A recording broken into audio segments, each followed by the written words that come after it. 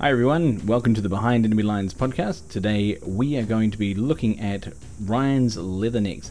That's an American Marine Strike Force uh, for Team Yankee as part of uh, my actual uh, going to build a Team Yankee army. I kind of stalled on the Brits because I opted for Berlin camo, but we're going to start again uh, with Ryan's Leathernecks. Now let's uh, check this out.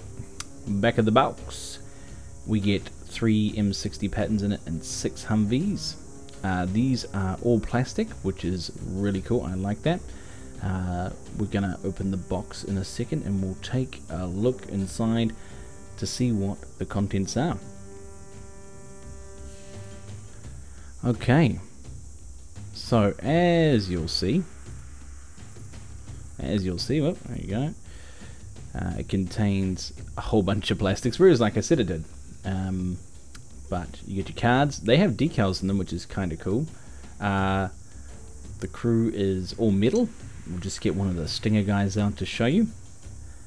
So there's a few options with the Humvees, which I'll show you later. One of them will be the little Stinger guy. So all the crew that pop out the top are metal, so none of that resin plastic that everyone seems to not like. Uh, there's also a mini Team Yankee rulebook, which is awesome and super portable. I like that. Um, cards here shows you there's a different strike force, like some sort of tank company. It's like an all-American.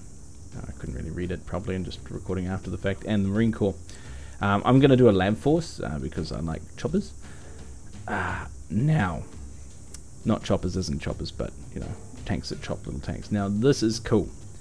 I hadn't seen the other side of this yet. I saw the round bottom of the M60, thought that was nice, but then I saw the top deck. Now, I'm not sure if the camera picks up on this, but this is super detailed. If you've got the resin one, it doesn't even compare. Now, Greg told me these were simple to put together as well, so that's a really good feature. Now, the Humvee, I counted, I think has about seven parts that you'll need to use. Uh, probably eight if you include the driver. It's got a M249, a 50 cal, uh, the M40 grenade launcher, uh, also has the TOW missile system, but they're really basic, really simple to put together. Just pop them out, glue them together, and they're all keyed, so you can't make any mistakes. It's a really nifty little kit. I don't remember the cost of it. I know in New Zealand dollars it's about 100 and something, so in American it's probably 70 80 dollars. This is well worth it if you're starting Marine Force because they're really cool, really small. So, as usual, um, hope you enjoyed the video.